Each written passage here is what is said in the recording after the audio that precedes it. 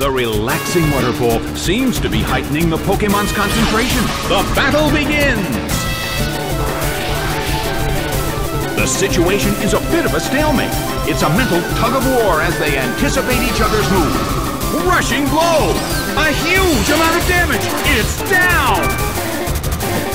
Abomasnow is sent out. The blue corner has the lead when comparing the number of remaining Pokemon but we still can't predict the outcome of the battle.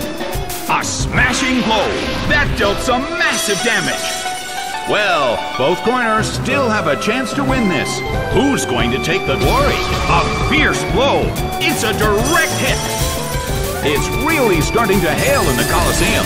I wonder how this is going to affect the battle. Well, both corners still have a chance to win this. What kind of developments can we expect to see next? Rushing blow! It went down!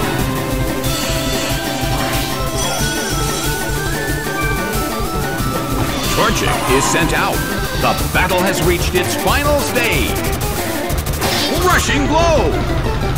It couldn't take it. It's down!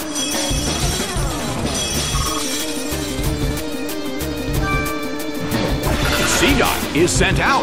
The battle has reached its final stage, and the tension is peaking. Cooked by overheat. A huge amount of damage. It's down!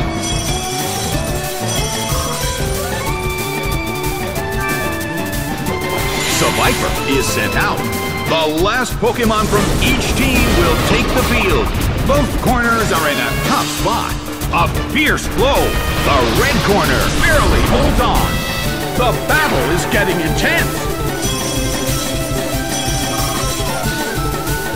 Seviper is losing its health! Torchic desperately holds on! Nicely done! The blue corner faces a great deal of pressure!